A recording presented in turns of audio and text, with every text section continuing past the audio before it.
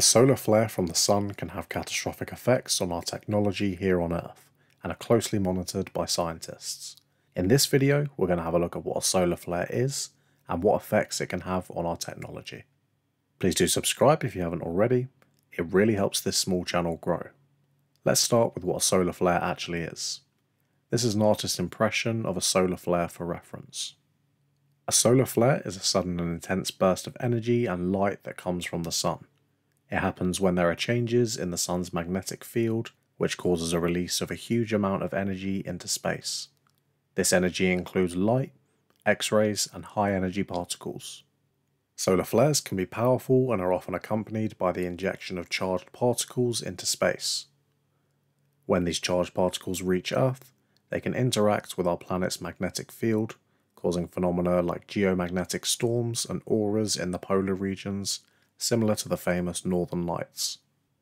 While solar flares are a natural part of the sun's activity, they can sometimes affect our technology and communication systems. Let's have a look at what may be affected.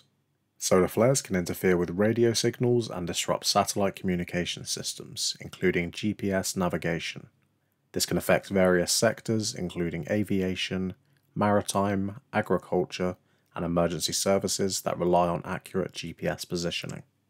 Geomagnetic storms induced by solar flares can cause fluctuations in the Earth's magnetic field, which can induce electric currents in power lines and transformers. This can lead to voltage instability and damage to power grid equipment.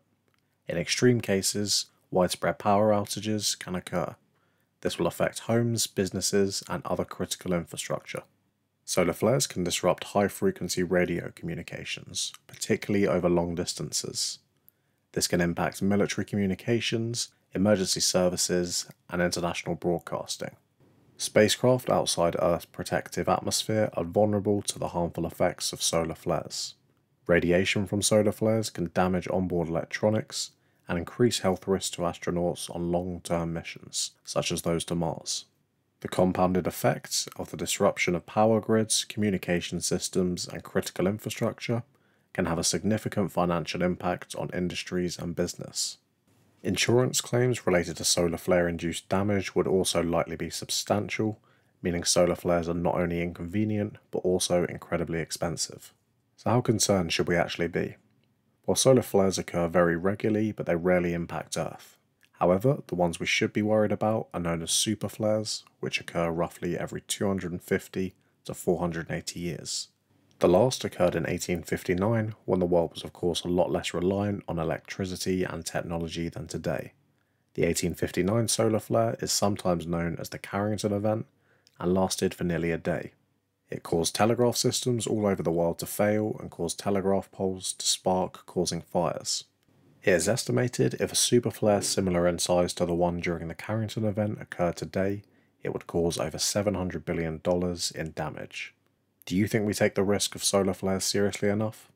Please do subscribe if you've enjoyed this video, and thanks for watching.